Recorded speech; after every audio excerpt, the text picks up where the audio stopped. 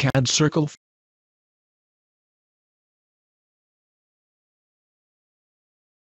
Click the CAD Measure Teach 2D feature button, select the circle. To change the measurement depth click on Depth. Click on Create Path after any change. To change the amount of points click on Target Point Number.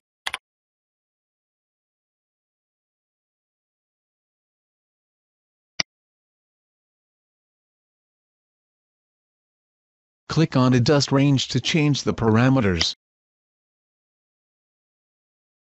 Click and drag to change the boundaries.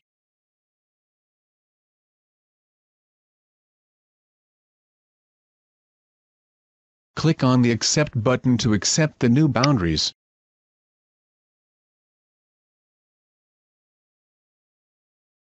Pick the new start point. If the diameter is a thread click on Thread Hole.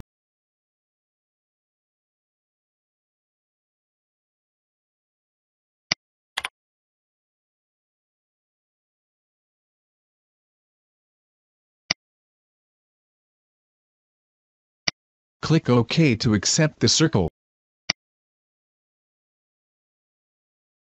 To view or change the feature nominal click on the Nominal tab.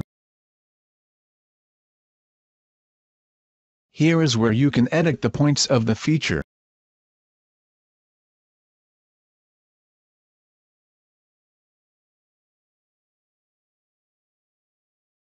In the Feature Path tab you can modify or insert changes to the path.